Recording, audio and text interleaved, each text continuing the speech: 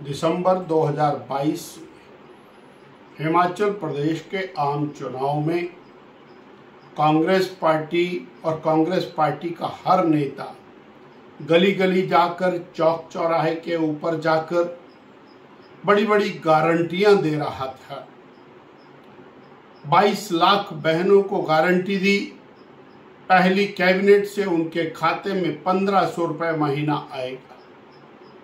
कांग्रेस कार्यकर्ताओं ने फॉर्म भरवाए और आज श्री सुखविंदर सिंह सुक्खू के नेतृत्व में बनी कांग्रेस की सरकार अपनी गारंटियों से भागती हुई दिखाई देती है। स्पीति की कुछ बहनों को पंद्रह सौ रुपया देकर के मुख्यमंत्री जी का यह कथन, कि हमने गारंटी पूरी करनी शुरू कर दी है, पूरी कर दी है, यह बहनों के साथ धोखा है। कांग्रेस पार्टी और सरकार अपने वायदे से भागती हुई दिखाई दे रही है। 22 लाख बहनों को पंद्रह सौ रुपए महीना कब मिलेगा? चुनाव के दौरान कहा था, ना जाति पूछी जाएगी, ना आय पूछी जाएगी। हर किसी के खाते में पैसा आएगा।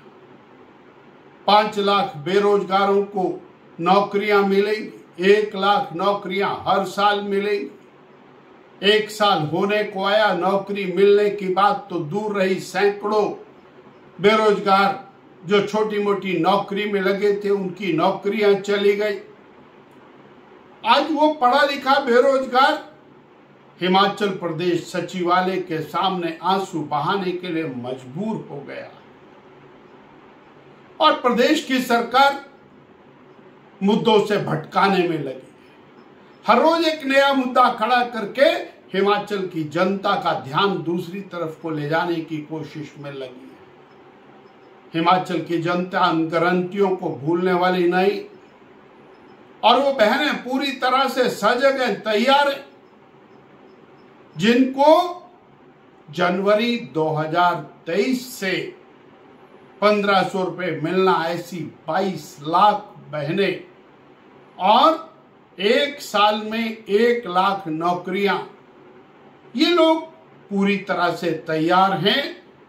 भारतीय जनता पार्टी का ये कहना है कि मुद्दों से भटकाना बंद करें और सीधा सीधा गारंटियाँ पूरी करने की बात जनता के सामने आनी चाहिए।